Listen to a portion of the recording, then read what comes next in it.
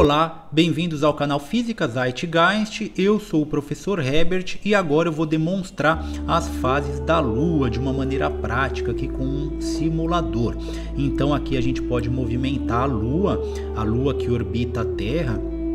A gente vai fazer a órbita dela completa por algumas vezes e observar o céu, né? Aqui em cima a gente pode ver o céu de um observador. Então, o observador aqui na Terra está representado por esse carinha aqui. Esse observador vai passando o dia, a noite e ele vai vendo ali o céu, vai vendo o sol passando por ele, a lua passando por ele. E como que ele vai ver esse sol? Como que ele vai ver essa lua? Por que que existe, existem as fases da lua? É isso que a gente vai entender agora. Então, eu vou começar aqui com a lua é, de frente para ele, então ele está aqui de frente para a Lua, o Sol está do lado oposto e ele não está vendo nada ali no céu, tá? Então ele está vendo o Sol. Vamos voltar um pouquinho aqui.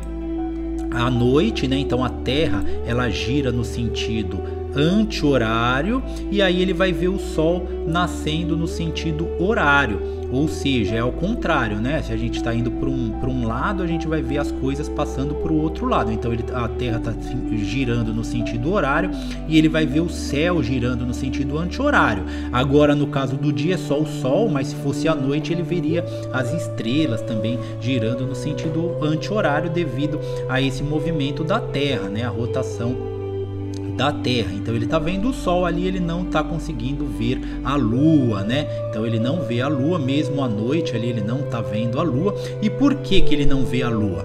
Porque a Lua está sendo iluminada somente do lado oposto a ele. Então é o que a gente chama da primeira fase da lua e a lua nova, quando a lua não aparece no céu. Então ela não aparece nem de dia nem de noite. Por quê? Porque ela está é, voltada, é, ela está aqui e sendo entre a Terra e o Sol. Então a parte que está voltada para ele, a parte que está voltada para a Terra, nesse momento aqui é uma parte escura, né, que não tem iluminação, então ele não vai conseguir enxergar. Lembrando que a Lua, ela não emite luz, ela não é uma fonte primária de luz, ela é uma fonte secundária, ela apenas reflete a luz do Sol. Então a gente só consegue ver a Lua através da luz do Sol, o que no caso aqui não está acontecendo. E a gente não pode confundir com eclipse, tá?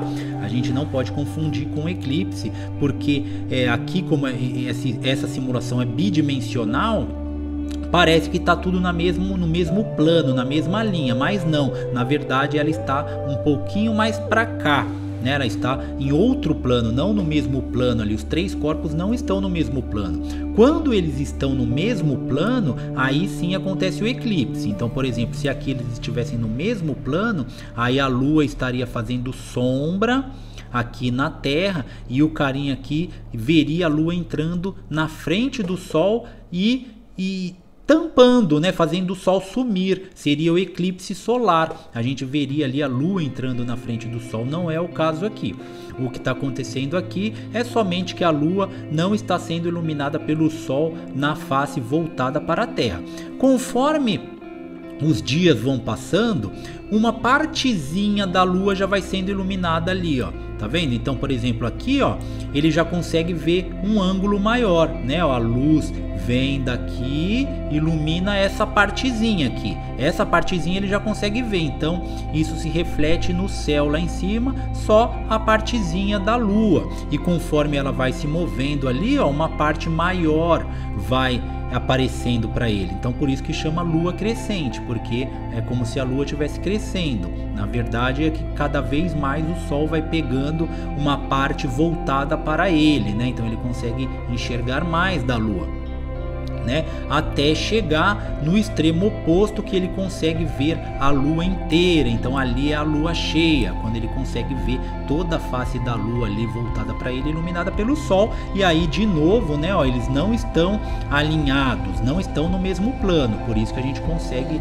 ver a lua, porque se eles estivessem no mesmo plano, seria o eclipse lunar. A Terra faria sombra aqui e aí a lua a gente não conseguiria ver a lua, mas esse é um evento raro claro, porque precisa ter essas condições. A Lua precisa estar aqui atrás da Terra e eles precisam estar no mesmo plano para acontecer o eclipse. Por isso que é um evento raro, né? Por isso que precisa é, tem todo um ciclo, vai vai ter uma data específica, um momento específico, um local específico que isso vai acontecer. Esse alinhamento aí dos três corpos, que não é o caso aqui.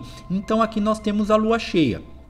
Conforme vai passando os dias ali, então a gente vai vendo agora a lua é, invertendo, né? A gente vai vendo o ângulo da lua é, iluminado vai ficando cada vez menor e aí a gente vê a, a, lua diminuindo, ou seja, a lua está minguando. Então é a lua minguante, né? Ela está ela está desaparecendo ali, ó. Por quê? Porque agora o carinha tá vendo aqui não toda a face voltada para ele iluminada, somente uma parte dessa face aqui, né, que a gente pode ver aqui somente esse ângulo e aí isso reflete no céu lá, a gente vendo ela aqui até ela chegar aqui né, na metade, quarto minguante, que é exatamente a metade que ele enxerga da Lua.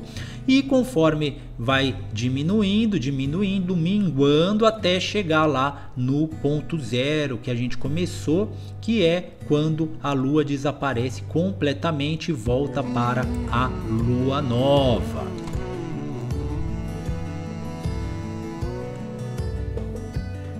Se você gosta desse tipo de conteúdo, se inscreva no canal.